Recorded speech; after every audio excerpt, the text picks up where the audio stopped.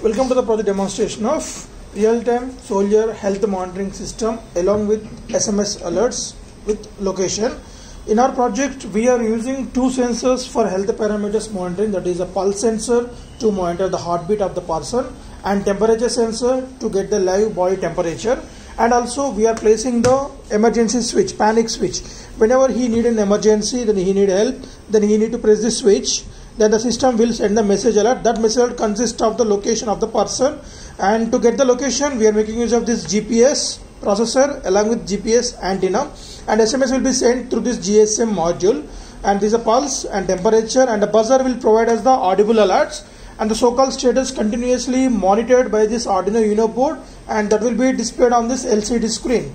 Coming to the interfacing connections, pulse sensor connected the A0, temperature sensor at A1, buzzer is connected the pin number 12 and LCD at pin number two 22, pin number 7 and GPS module at pin number 8 and 9, pin number 9 is to the GSM module.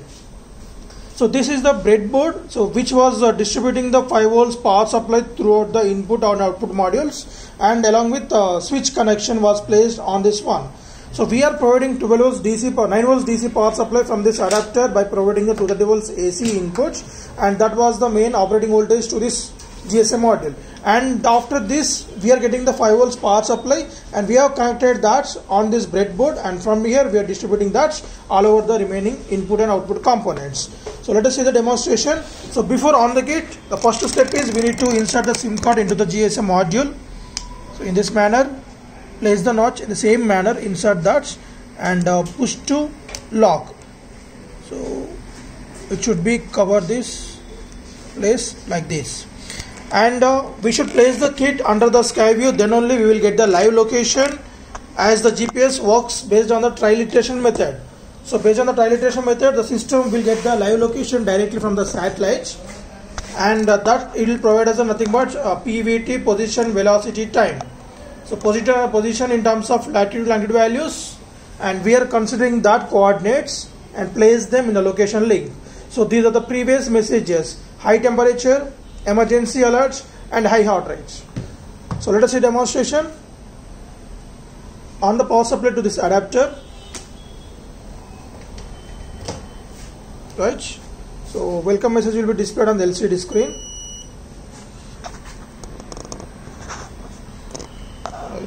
after that here we can see this light is blinking very fast now so once it got the signal the blinking rate slows down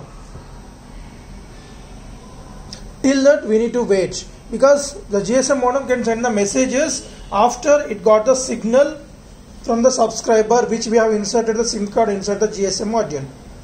So if you're not getting that just you can off the power supply and on it again. Right now the green light is blinking fast now.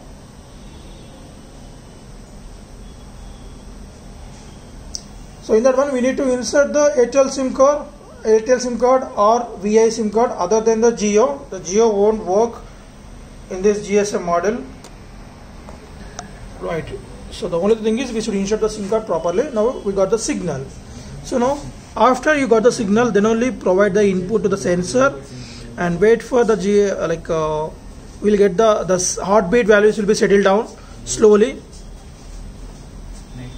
Right. So here if uh, the person need an emergency this the person has to press the switch then the emergency message will be displayed on the LCD screen. And now we'll get the message alerts on your mobile phone.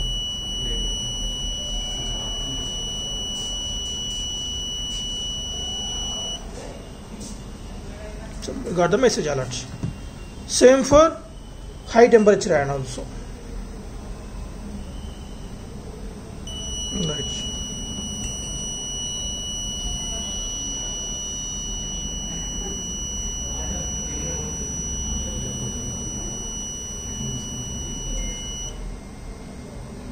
So high temperature.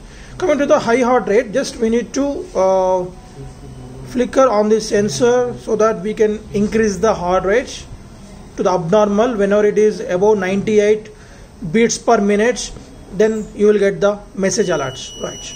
So near 98 now you're going to send the message the system. And every time when you send the message that particular message consists of health parameters also. So you got the another high heart rate message.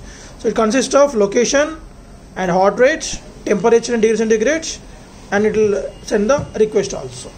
Right so in this way we are going to monitor the health parameters of the soldier uh, when he need an emergency and also continuously we are getting the SMS alerts in term uh, in need of panics